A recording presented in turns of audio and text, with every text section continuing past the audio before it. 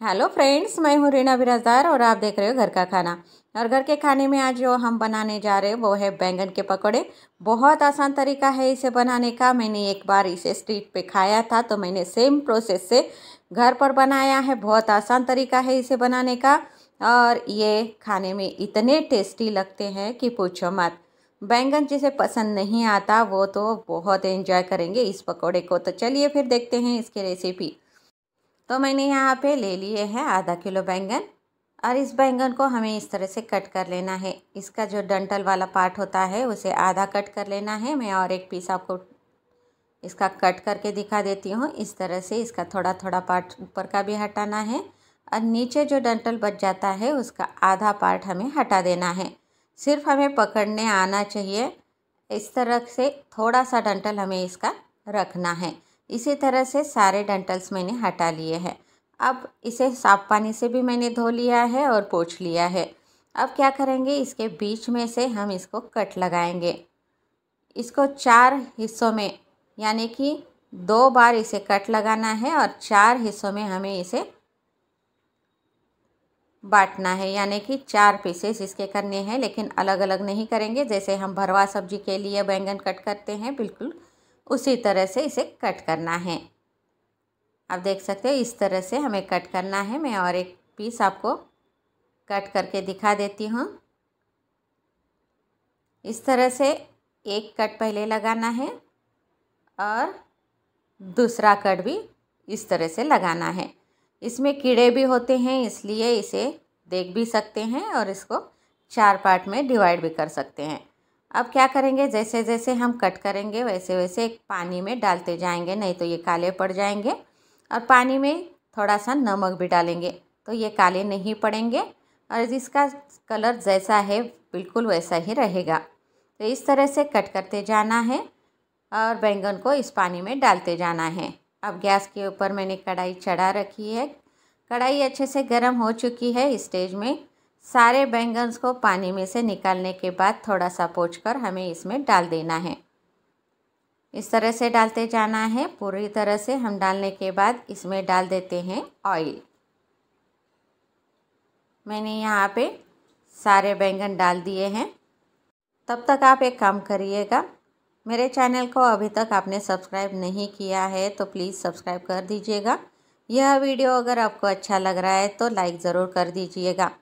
अब हमने इसमें ऑयल अभी तक नहीं डाला है, सिर्फ़ थोड़ा सा इसे इस तरह से रोस्ट करना है। हल्का सा इसका कलर चेंज होने तक। इसका कलर अच्छे से चेंज हो चुका है। इस स्टेज में हम इसमें डाल देते हैं तीन से चार चम्मच तेल।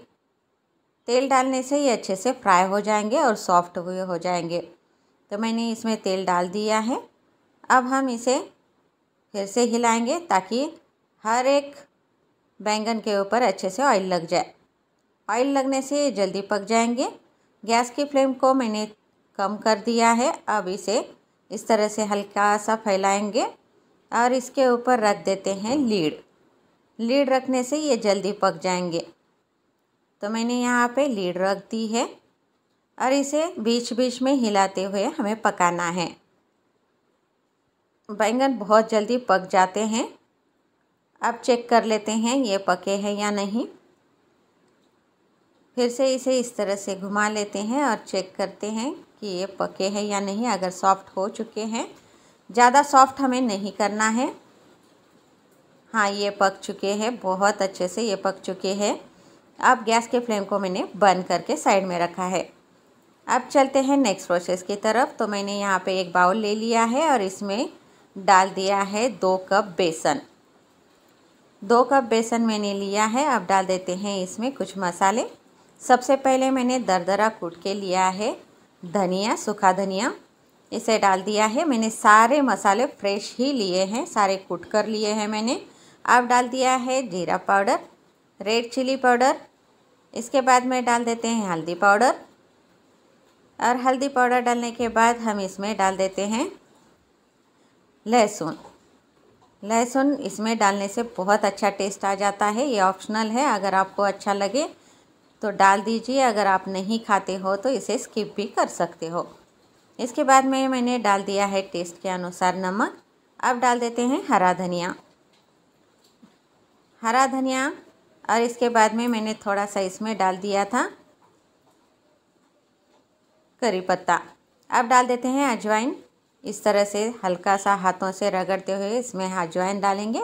रगड़ने से इसकी खुशबू पकौड़ों में बहुत अच्छे से आ जाएगी और बहुत टेस्टी भी ये बनेंगे। अब डालेंगे थोड़ा थोड़ा पानी और इसका पकौड़ा जैसा घोल बना लेते हैं। तो मैंने इसमें पानी डाल दिया है। एक विस्कर की मदद से हम इस तरह से इसका घोल बना लेते हैं। बहुत आसान है इसे बनाना। तो आप देख सकते हो, यहाँ पे मैंने घोल बना लिया है।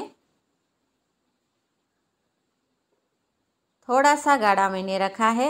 नॉर्मली जैसे पकोड़े हम बनाते हैं, उससे थोड़ा सा गाढ़ा मैंने रखा है। अब ये घोल एकदम रेडी है। अब हम इसमें डाल देते हैं इनो। अब सबसे पहले मैंने एक प्लेट में निकाल लिया है। बैंगन को और इसे अच्छे से ठंडा कर लिया है। अब डाल देते हैं थोड़ा सा इनो। इनो डालने से ये बहुत अच्छे से क्रिस्प भी बनेंगे और बहुत ही सॉफ्ट भी बनेंगे। अंदर से सॉफ्ट और ऊपर से क्रिस्पी ये पकोड़े लगते हैं। बहुत टेस्टी और बहुत ही मज़ेदार ये पकोड़े हैं। आप चलते हैं इन्हें बनाने के लिए। तो गैस के ऊपर मैंने पहले से ही कढ़ाई चढ़ा रखी थी। उसमें ऑयल डाल दिया था। अब पकौड़ों को हमें इस तरह से, यानी कि बैंगन को हमें इस तरह से खोलते हुए इसे हर तरफ़ से इस आटे को हमें लगाना है। इस घोल को हमें लगाना है और ऑयल में इस तरह से छोड़ते जाना है। मैं और एक पीस आपको दिखा दूँ। इसके डंठल को पकड़ना है और इस तरह से हर एक पीस को हमें इसमें डुबोते हुए इसमें डालते जाना है। बस सिंपल तरीका है इसे फ्राई करने का। तो यहाँ पर मैंने सारे पकौड़े इसमें डाल दिए हैं। गैस की फ्लेम को मैंने कम कर दिया है, यानी कि मीडियम गैस पे। अभी मैं इसे फ्राई कर रही हूँ। अंदर तक ये अच्छे से पकने चाहिए, इसलिए मीडियम गैस के ऊपर ही आप इसे पकाएँ। गैस की फ्लेम को अगर आपने हाई पे रखा तो ये ऊपर ऊपर ही पक जाएँगे, अंदर तक कच्चे रह जाएँगे। अगर गैस की फ्लेम को आपने एकदम कम कर दिया तो ये ज़्यादा ऑयल सोख लेंगे। इसलिए याद रखें, पकौड़े कभी भी बनाते वक्त गैस की फ्लेम को मीडियम पर ही रखें। तो गैस की फ्लेम को मैंने मीडियम पे रखा हुआ है और अभी दोनों साइड से हमें इसे फ्राई कर लेना है। तो आप देख सकते हो, ये दोनों साइड से अच्छे से पक चुके हैं। अब इसे निकाल लेते हैं हम एक डिश में। ये खाने में इतने अच्छे लगते हैं कि पूछो मत। इसके साथ में एक स्पेशल चटनी भी बनाई जाती है। उस चटनी की रेसिपी मैंने पहले ही चैनल के ऊपर अपलोड की है, इसलिए मैंने उसे नहीं दिखाया है। आप चाहे तो वहाँ जाके विज़िट कर सकते हो। नीचे डिस्क्रिप्शन बॉक्स में मैं उसकी लिंक दे दूँगी। आप देख सकते हो वो चटनी मैंने कैसे बनाई है। इसमें जो पकोड़े निकलते हैं छोटे वाले, उससे वो चटनी बनती है। वो स्पेशल चटनी होती है पकौड़ों की। वड़ा पाव के लिए भी वही चटनी यूज़ की जाती है। बहुत से चाट में वो चटनी यूज़ की जाती है। तो आप इसे एक बार ज़रूर ट्राई कीजिएगा। उस चटनी के साथ में ये पकोड़े बहुत अच्छे लगते हैं। पकोड़े कौन से भी हो, वो चटनी अगर हो तो बहुत मज़ा आता है। तो ये बेबी पकोड़ा होता है ना, इसमें जो निकला हुआ इस तरह का तो इससे वो चटनी बनाई जाती है। इसकी लिंक आपको नीचे डिस्क्रिप्शन बॉक्स में मिल जाएगी। तो इसे भी निकाल के साइड में रख देते हैं पकोड़े। बाकी भी पकोड़े हम फ्राई कर लेते हैं। तो मैंने यहाँ पे पकौड़ों को फ्राई कर लिया है। अब चलते हैं इन्हें सर्व करने के लिए। तो प्लेट में मैंने पहले से ही मेयोनीज़ और सॉस लिया है। आप सॉस और मेयोनीज़ के साथ में भी इसे एंजॉय कर सकते हो। मैंने चटनी नहीं बनाई है आज, लेकिन पहले मेरे चैनल के ऊपर ये अपलोड है। आप देख सकते हो।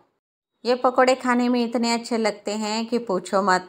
सब पकोड़ों में मुझे ये पकोड़े बहुत अच्छे लगते हैं।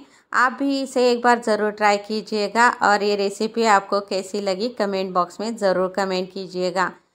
अगर अभी तक मेरे चैनल को आपने सब्सक्राइब नहीं किया है तो प्लीज़ सब्सक्राइब कर दीजिएगा।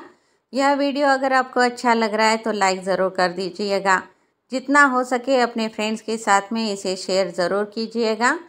तो मिलते हैं नेक्स्ट वीडियो में नए रेसिपी के साथ में। मेरे चैनल के ऊपर और भी पकौड़ों की रेसिपी है, आगे भी दो चार दिन में और भी रेसिपीज़ आ जाएँगी, आप वहाँ जाके ज़रूर देख लेना। तो मिलते हैं नेक्स्ट वीडियो में नए रेसिपी के साथ में, तब तक के लिए बाय बाय